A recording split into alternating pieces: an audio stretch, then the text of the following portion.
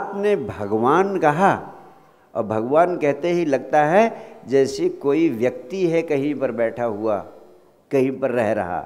भगवान को आपने व्यक्ति के रूप में कहा तो आपने भगवान को छोटा कर दिया। और उसी समय मुश्किल हो गई। उसी समय तमाम प्रकार की धारणाओं का खेल, तमाम प्रकार की धारणाओं का विवाद, तमाम प्रकार की धारणाओं का वितंडा खड़ा हो गया।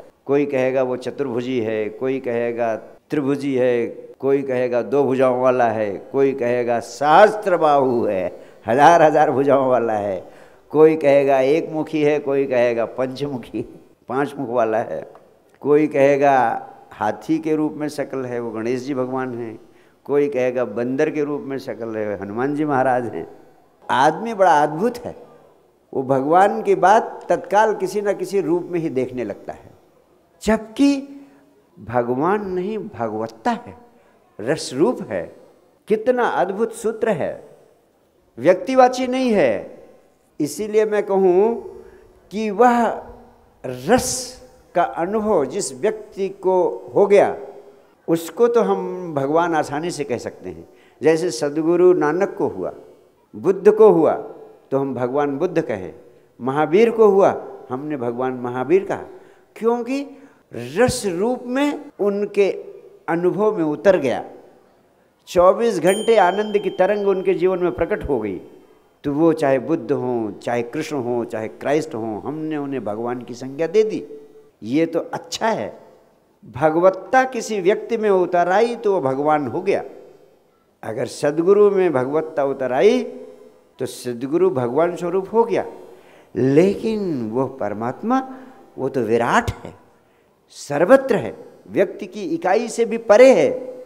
उसको सीमा में बांधा नहीं जा सकता। आकार में पिरोया नहीं जा सकता। वो इस मूर्ति में भी है, उस मूर्ति में भी है। वो मंदिर में भी है, मस्जिद में भी है, काशी में भी है, काबा में भी है, चर्च में भी है, उतना ही जितना सिनेगॉग में है। वो सर्वत्र है, सब जगह है। उसको छोटा न करो, उसको व्यक्तिवासी मत बनाओ। पश्चिम में इस बात पर बहुत झगड़ा हुआ कि परमात्मा को क्या माने? स्त्री माने कि पुरुष माने? ही कहें या सी कहें? तो अब तक तो उसको ही ही कहा गया। पुरुष के रूप में ही देखा गया पश्चिम में क्रिश्चियनिटी में। कहते हैं, पिछला पोप जब मरा तो स्वर्ग के दरवाजे पर गया। वहाँ सेंट पीटर से उसने कहा कि मेरी अनंत काल से प्यास रही है प्रभु के परमात्मा के दर्शन करने की। जल्दी से मुझे दर्शन कराओ। सेंट पीटर ने पोप से कहा कि देखो, दरवाज़ा तो मैं खोल दूँगा आपके लिए। दर्शन भी आपको परमात्मा के हो जाएँगे। लेकिन दो चीज़ का ख्याल कर लेना। आपने पृथ्वी पर चर्च में परमात्मा को पुरुष के रूप में पूजा है, क्राइस्ट के रूप में पूजा है। लेकिन वो जिसे आपने परम पिता के रूप में पूजा है, वास्तव में वो परम पिता नहीं है, वो परम माता है। यानी स्त्री रूप में है।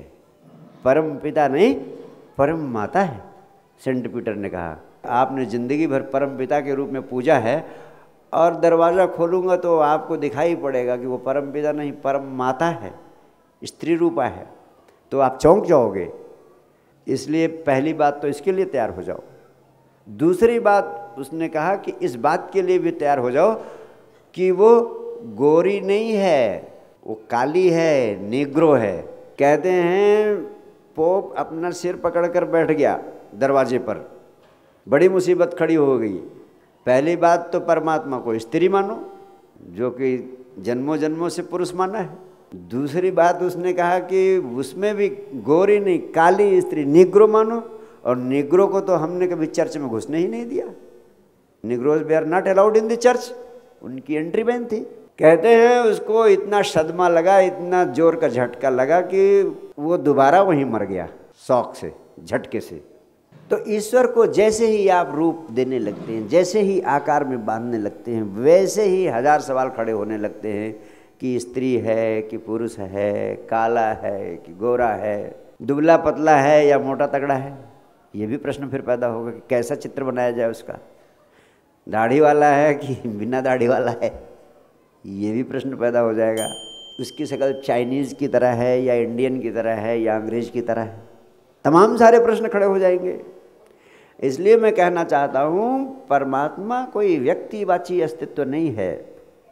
इस अस्तित्व की परम ऊर्जा जिसे हम परमात्मा की संज्ञा देते आए हैं, अपने को परम शांति, परम आनंद के रूप में ही मनुष्य के जीवन में प्रकट करता है।